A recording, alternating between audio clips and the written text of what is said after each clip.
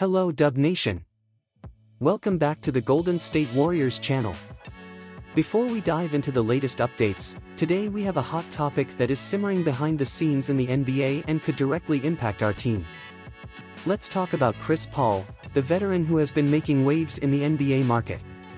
Take the opportunity to leave your like and activate the bell to be notified whenever there is news from your team.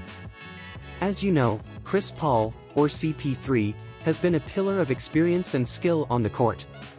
As the end of his current contract option with the Warriors approaches, rumors began to emerge about his next destination. According to renowned NBA insider Marc Stein, the San Antonio Spurs are eyeing Paul as a valuable addition, especially to bring veteran leadership alongside young talent Victor Wembanyama, who is the presumptive Rookie of the Year winner. The Warriors are faced with a crucial decision, exercise Paul's $30 million extension option for next season, or allow him to explore other opportunities. Paul has already expressed his desire to remain active, but the question remains, where will he play next season?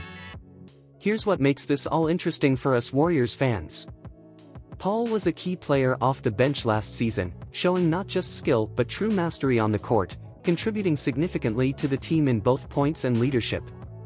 Imagine now, if he were to join the Spurs, CP3 could not only take on a more prominent role, but also serve as a mentor to Wembanyama, creating a new dynamic on the San Antonio team. His best years, many remember, were when he was playing alongside players like Blake Griffin and DeAndre Jordan. The prospect of seeing him relive those glory days, but now with Wembanyama, could be both nostalgic and exciting for basketball fans. Now, dear fans, the ball is in our court. What do you think the Warriors should do? Should we keep CP3 and continue leveraging his talent and experience, or would it be better for him, and perhaps for us, to explore new horizons? Plus, how would you feel seeing him in a Spurs uniform next season? Stay tuned to our channel for more updates and share your views in the comments. Thanks for watching and don't forget to like and subscribe.